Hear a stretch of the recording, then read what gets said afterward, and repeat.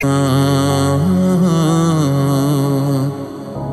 ਨਾਵਾਂ ਦੇ ਮੈਂ ਸੰਗ ਰਲ ਜਾਵਾਂ।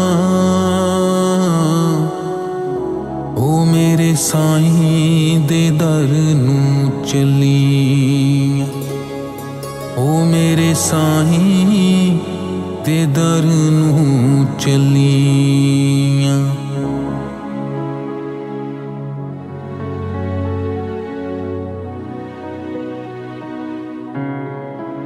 ਉਹ ਪਾਣੀ ਦੇ ਇੱਕ ਟੁੱਟੇ ਕਾਸੇ।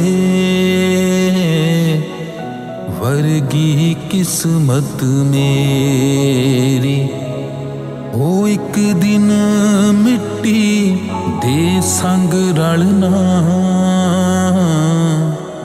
ਤੂੰ ਹੋਣਾ ਖਾਕ ਦੀ ਢੇਰੀ। ਉਹ ਪੱਲਾ ਫੜ ਲੈ ਸੋਹਣੇ ਮਾਹੀ ਦਾ